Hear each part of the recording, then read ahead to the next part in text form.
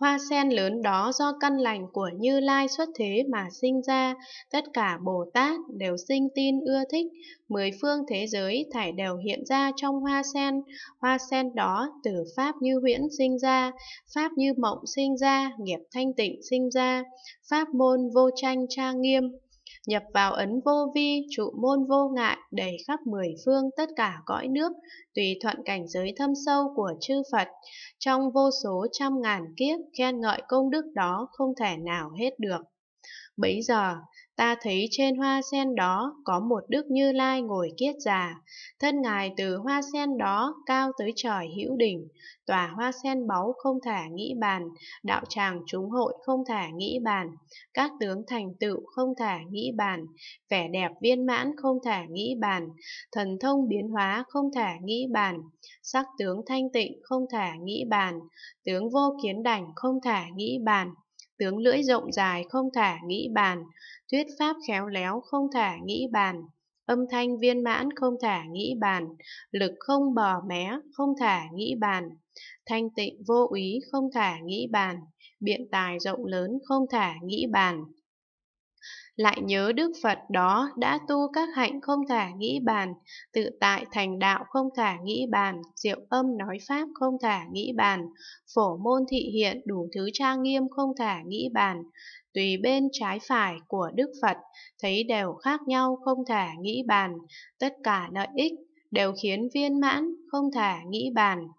Bấy giờ Đức Như Lai đó liền giơ tay phải ra mà giờ đầu ta, vì ta diễn nói pháp môn phổ nhãn, khai thị tất cả cảnh giới Như Lai, hiển phát các hạnh của tất cả Bồ Tát, xiển minh tất cả diệu pháp của chư Phật, tất cả bánh xe pháp đều nhập vào trong đó, hay tịnh tất cả cõi nước chư Phật, hay phá tan tất cả dị đạo tà luận, hay diệt tất cả các chúng ma quân, hay khiến chúng sinh đều sinh hoan hỉ, hay chiếu tâm hạnh tất cả chúng sinh, hay thấu rõ các căn tất cả chúng sinh, tùy tâm chúng sinh đều khiến cho họ khai ngộ. Ta từ chỗ Đức Như Lai đó nghe pháp môn này, thọ trì đọc tụng, nghĩ nhớ quán sát, giả sử có người dùng lượng mực như biển cả, cây viết nhóm nhiều như núi tu di, biên chép pháp môn phổ nhãn này, một môn trong một phẩm, một pháp trong một môn, một nghĩa trong một pháp, một câu trong một nghĩa, cũng không được chút phần, hà huống là hết được. Thiện nam tử,